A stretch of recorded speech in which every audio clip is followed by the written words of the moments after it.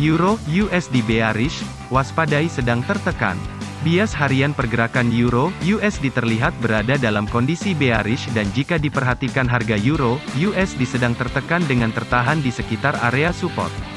Jika pergerakan euro USD bergerak ke atas dan tertahan di sekitar area kritis pada kisaran 1,09782 sampai 1,09556 maka tunggu kemunculan bentuk pola candlestick bearish yang valid dengan memperhatikan juga indikator ADX bergerak ke atas maka ada potensi harga akan menyentuh area 1.09042. Sebaliknya waspadai jika harga euro USD terus bergerak ke atas dan menembus level 1.09556 maka ada potensi harga akan berbalik arah dengan bergerak bullish ke atas menuju level berikutnya pada kisaran 1.10239. Sekian analisa forex untuk tanggal 28 Maret tahun 2022.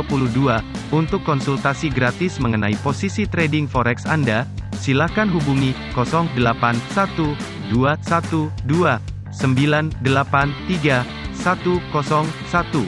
Sekali lagi, 081 212 983 101. Kami dengan senang hati berbincang dengan Anda. Untuk mendapatkan analisa forex setiap hari, silakan subscribe ke channel ini. Sampai jumpa di video berikutnya.